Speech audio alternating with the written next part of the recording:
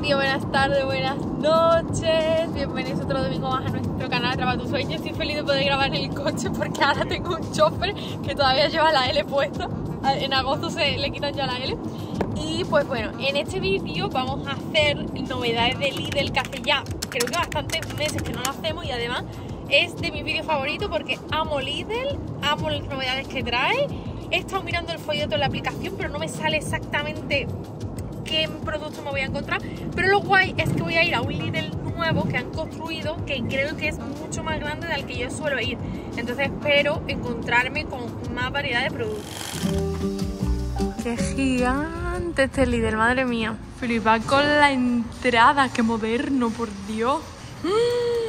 ¡Qué bonito! Me emociono. Ay, Dios mío, mi paraíso. Ahora mismo en las novedades tenemos como la sección deluxe, que es la sección que también sacan en Navidad, pero voy a echarle un vistazo a ver qué productos hay, si hay alguno que no hayamos probado todavía en el canal, porque aquí estoy viendo que hay más, de hecho ahí lo pone por tiempo limitado y también hay más productitos de esta sección. Uno de los productos que estoy buscando que se ha hecho más o menos viral es que han sacado una leche que imita la leche de vaca siendo vegetal. O sea, no es como tipo la leche de soja y tal que tú sabes que sabe a soja. Esta la imita. He visto a mucha gente probándola en TikTok y dicen que sí se asemeja. No sé, yo como tomo leche de vaca voy a poder hacer como la comparación exacta. Porque claro, lo prueba mucha gente que ya hace tiempo que no tomaba esta leche. La he encontrado. ¡Oh, ¡Qué vacío! Está la versión entera y la versión semidesnatada. Me voy a llevar las dos, la verdad. Ojalá, o sea, a mí me encantaría, sería un sueño que imitase exactamente la de vaca. Ahora me doy cuenta que también hay un cartelito ahí de novedad de esta leche, que es leche de soja alta en proteína. Pues está guay que saquen cositas nuevas, la verdad. Aquí tenemos de novedad las porras congeladas que la verdad no recuerdo haberla vista, pero es que esto yo no recuerdo haberlo visto. Quizás porque nunca me ha llamado la atención. El mochi de vainilla. Esos creo que sí estaban. El de vainilla no lo sé, la verdad, ahora me da curiosidad. Estamos aquí viendo los postres de esta sección y estamos entre estos dos. Que creo que no he probado nunca, ni el tiramisú ni este de triple chocolate. Me suena de haber probado hace años este soufflé. Luego tenemos como esta tiramisú, que hay como más tartas, que la verdad no me llaman nada la atención. Luego están estos mini postrecitos. ¿Esto qué es? Hostia, esto también es interesante. No sé. Me llama la atención este, pero tengo que salir de mi zona de confort. Hay como muchas pastas, hay de ricota y albahaca, de higo. Este me llama la atención porque es ricota y pistacho. Y este es ricota pecorino, que es un queso y también miel. Y bueno, también tenemos este, que no me llama nada la atención, que es de salmón al nero di sepia. Estamos entre estos dos. ¿Cuál cogeremos? Aquí hay como una sección de mascotas y mirad esto. Pizza recoge excremento. ¿Cómo funcionará? O sea, es como que se abre, ¿no?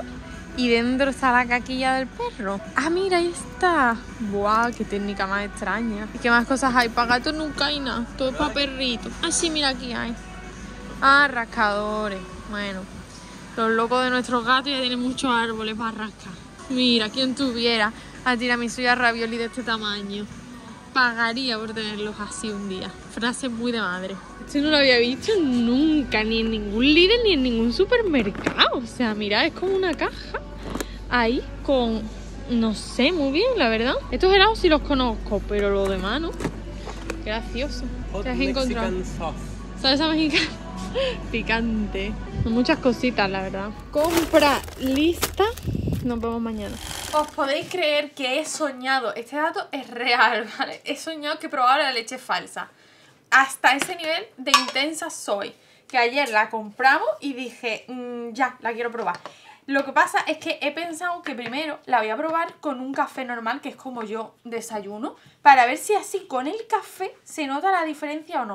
Y luego ya después hacemos la cata oficial. Digo cata oficial porque es que tengo la versión semidesnatada con leche de vaca semidesnatada para hacer la comparación y luego la leche de vaca entera y la leche falsa entera.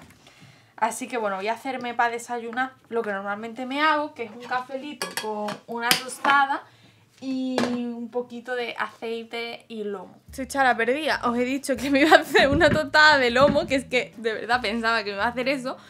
y me he acordado que compré una cosa que además es lo más caro que compré ayer para el desayuno, que costaba creo que 13 euros y se me iba a olvidar.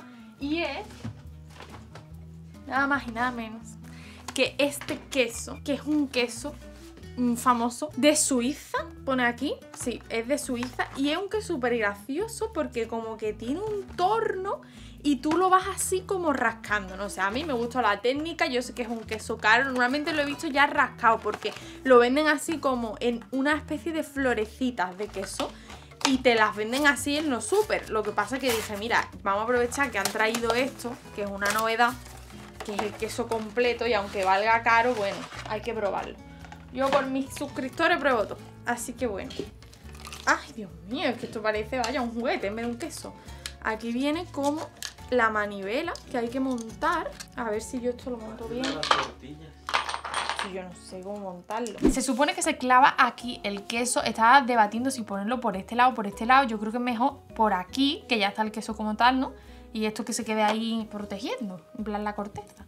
Vamos a ver, se supone que lo estoy haciendo en medio, ¿no? Eso espero. A ver por dónde va a salir el pincho. Sí, no vea, qué puntería. Ah, mira, se clava fácil. Vale, y ahora se pone la manivela para otro lado. Y deberían de salir flores. Flores chuchurrías están saliendo. ¡Sí! ¡Sí está saliendo! Pero mira, esto es lo que he visto yo en los supermercados. La virutilla esta. Hay que rascar. El problema es que se mueve el queso. Oye, esto es un invento. Mira, mira. Esto es un poco rollo porque es que el queso se mueve. Chichar más ha clavado el queso abajo. Y bueno, ahora va mejor. Sí, esto ya es otra historia. ¡Ay, qué cosita más bonita! Mira, parece una rosa.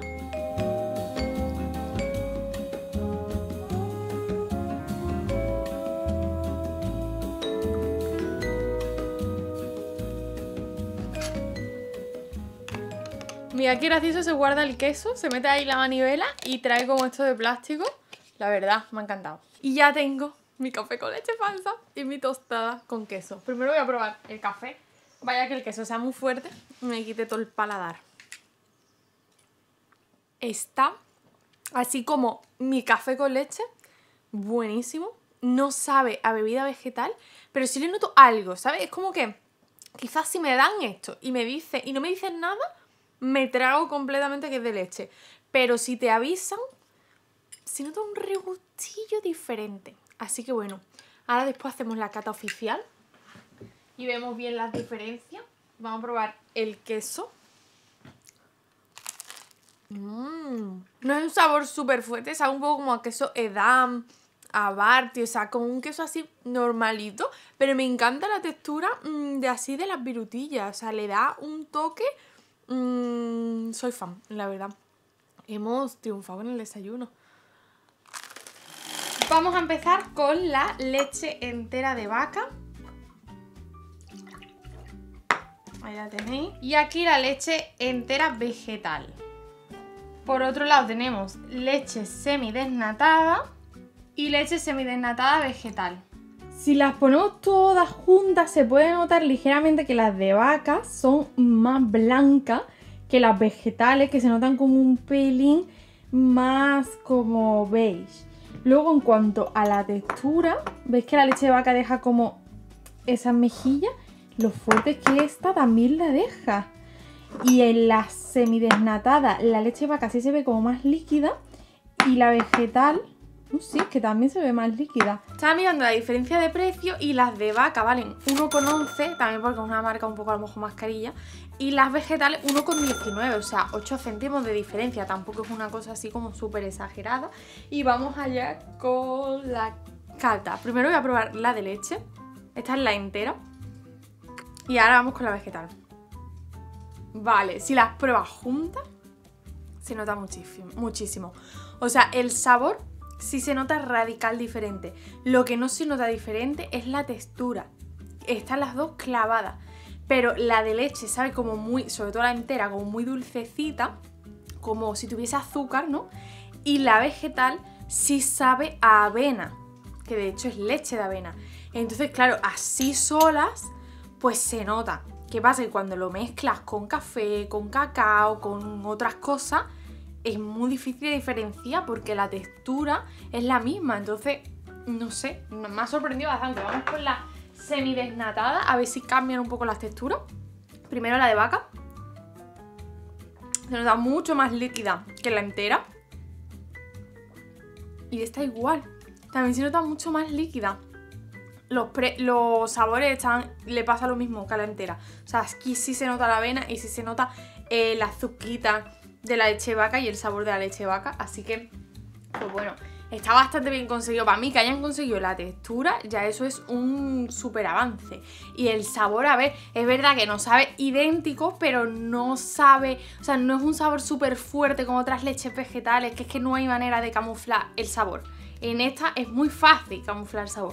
Y ahora, una cosa que me entró curiosidad, que es, vale, este, ¿de qué está hecho esto? O sea, vale, sabemos que es leche de avena, pero ¿por qué sabe diferente a la leche de avena de toda la vida?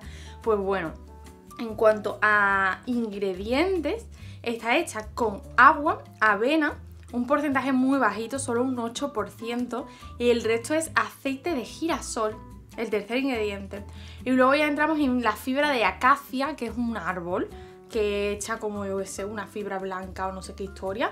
Y, luego ya como complementos de vitamina y tal para igualarse a la leche de vaca, ¿no? Calcio, vitamina D, no sé qué. Si miras las calorías y las grasas y tal, están prácticamente igualadas. Esta gana en grasa, la de vaca gana en azúcar, pero también gana en proteína. Y esta pues tiene menos azúcar, pero tiene menos proteína. Sí, básicamente la de leche tiene más grasa, más azúcar y más proteína. Y esta tiene menos grasa, menos azúcar, menos proteína. Pero claro, no deja de ser aceite de girasol, que no sé a nivel salud de la vida qué es más sano para el cuerpo, la leche de vaca o aceite de girasol ahí ya estamos entrando en debates que yo no sé hablar porque no soy nutricionista.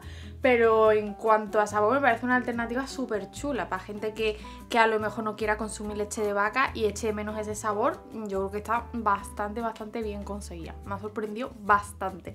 Ya no sé qué es lo siguiente que se van a inventar, pero yo estoy living con estos descubrimientos. Para la comida he comprado dos tipos de pastas diferentes. Ravioli con ricota y relleno de pistacho y este que es ricota, pecorino y miel. Voy a hacer los dos en ollitas separadas para que no se mezclen y a probarlo, la verdad. Tienen pintaza.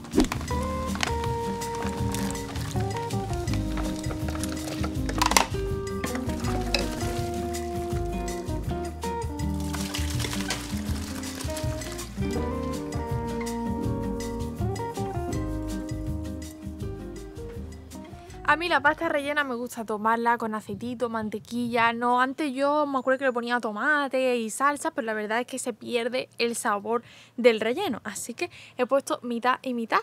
Vamos a probarla, no sé cuál es cuál. Espero que lo identifique cuando era. O sea, me he salido de mi casa porque tenía el lavavajilla puesto y no quería que se escuchase ruido. Y me vengo aquí afuera y se pone mi padre a utilizar la maquinita. ¿Qué os parece? Ya he probado los dos y el pistacho no encuentro por ningún lado. La verdad sabe a queso, está bueno, pero no sabe a pistacho. El otro sabe un montón a miel, solo se siente la miel. También está bueno, pero a ver, me esperaba más. Me esperaba que sabiese a todos los ingredientes, no solo a uno. De todas formas, yo soy fan de la pasta rellena, así que sea de lo que sea, yo soy feliz con este plato de pasta rellena y queso. Hemos venido al jardín que además tiramisú y ravioli se vuelve loco cuando salimos. Porque es como diciendo, tengo compañía. Siempre. y la merienda que tengo es, eh, al final, he salido de mi zona de confort. No cogí el triple chocolate, que es el que me apetecía. Y he cogido esto, que son profiteroles salt caramel. La verdad es que los profiteroles es un postre que a mí nunca ni fu ni fa. De hecho, ¿no os parece que el nombre suena como a bacteria o algo? En plan, me ha salido un profiterol. No, suena más como de te tomaste tu profiterol el día de hoy, como una pastilla. A medicamento. Yo no sé quién le puso el nombre, pero se quedó a gusto. Bueno, viene la tarrina, preciosa además, mira, con su mejilla. Y como los, las tres bolitas ahí, ay, se me cae, en chocolate. Toma. Es un poco raro los boquetes que tiene, ¿no? ¿No te da tripofobia? Tiene profiteroles dentro. Tiene profiteroles. Miradlo. Tiene tres boquetes. Supongo que los habrán rellenado por ahí, pero son extraños. A ver, lo pruebo yo y después te doy porque no me traigo cuchara. tiramisú. Este gato siempre quiere probar todo. Ay, sí. Estoy chupando el Está chupando plastiquito. este plástico. Pruébalo.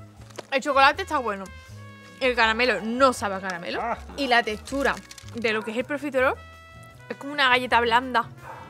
O sea, me refiero, yo no pagaría por No. este postre. ¿Me lo como? Pues sí. ¿No? O sea, en plan, te lo pone, pues no. No está como para decir no me lo como. Pero vaya. ¿Tú qué piensas, chicharito? Mira, mira, mira, mira. A ver. Mira. ¿Qué quiere? Ahí está. Mira, mira, mira. Salta. Increíble. Increíble. No. ¿Qué te pasa, gordo? ¿Tú te crees que esto es normal? Este gato. ¿Tú te crees que esto es normal? ¿Tú te crees que esto es normal con lo chiquitillo que era? Cuenta, ¿qué te parece el profiterol? La galleta es la que me corta Es todo que el rollo. sabes que en realidad no es galleta. O sea, es que partimos de la base que un profiterol es como, no sé, es como una masa, pero no es galleta. Lo que pasa es que está blandurria. Sí, no me gusta esa parte. Está muy bueno. Se siente como alcohol. Sí, tiene alcohol, de hecho pone, contiene alcohol. Ah, vale, vale, vale. Está muy bueno. El chocolatito este está buenísimo. Pero es verdad que la galleta. No, sí es como pan, ¿eh? A mí no me ha gustado. ¿Te ha gustado o no? Dale una nota. Le doy un 6. O sea, no lo compraría, pero una Yo vez está un bien. 4, coma Hora de la cena y he comprado de la sección que había esta semana caprichitos de boletus con trompeta de la muerte. O sea, el nombre mucha confianza no da, trompeta de la muerte. Pero es verdad que es una seta que yo he escuchado más veces y nunca la he probado. Entonces digo, oye, mira, pues como primera impresión voy a comprar estas croquetas. A mí las cenas, la verdad, no me gusta hacer fritos ni cosas así. Yo me gusta cenar un poco más saludable. Entonces he pensado, bueno, pues le voy a hacer a mis suscriptores mi receta del brócoli. Porque mi amor por el brócoli ha ido evolucionando, ¿vale? Yo empecé comiendo el brócoli cuando era chica con queso, ya está. Después descubrí el brócoli con alioli, fantasía. Y ahora he hecho una versión. No tengo alioli, si no se la pondría, ¿vale? Pero la voy a enseñar también. Y bueno, vamos a freír estas bolitas de aquí. ¿La habéis probado vosotros las trompetas de la muerte? Yo no sé. Quien se ha inventado un nombre se ha quedado a gusto. Aquí tengo el brócoli. Lo primero que le pongo son algunas lonchas del queso que tenga por casa. Este es queso de cabra, se llama payoyo, que es de Cádiz. Y está que te muere. Si una lasquilla por encima. Luego, taquitos de jamón. La combinación esta ya es, vamos. Y por último le pongo una mejilla de queso feta, que para mi gusto le da el punto como ácido. No sé, a mí me encanta cómo queda. Nada, una mejilla de nada. Y ya tendríamos brócoli maravilloso. Antes de probar las croquetas estas, os tengo que contar que me habéis preguntado mucho estas semanas cositas como rollo, por ejemplo, que actualice mi skin routine, que os cuente eh, pues mm, la casa actualizada, no sé, como cosas así más personales. Os voy a hacer un blog donde os voy a contar todo, o sea, ya explayarnos en plan tarde de amigas, os cuento todos los productos que he descubierto en routine, mm, hago las recetas que suelo hacer, en fin, vamos con la croqueta de la muerte. No me gusta nada la textura masacote, que es la típica textura de croqueta cutre, pero el sabor que tiene me gusta, ¿eh? Es como una especie de mezcla entre champiñón y trufa. O sea, tiene un, es un sabor que me recuerda a la trufa y me gusta mucho. Voy a buscar yo las trompetas estas en otras recetas porque creo que me puede gustar mucho como el sabor de, de esta seta. Y bueno, mi brócoli, mi brócoli ya lo conozco. Este brócoli está buenísimo, la verdad. Eh, me encanta la combinación del jamón, el quesito y el brócoli. Probarlo. Os dejo que voy a cenar tranquilamente. Espero que haya gustado muchísimo este vídeo y nos vemos próximamente. Eh, me encanta leer vuestros comentarios. Muchas gracias a todos los que estáis aquí semana tras semana. Os quiero muchísimo y os mando buena energía para este inicio de semana. Adiós.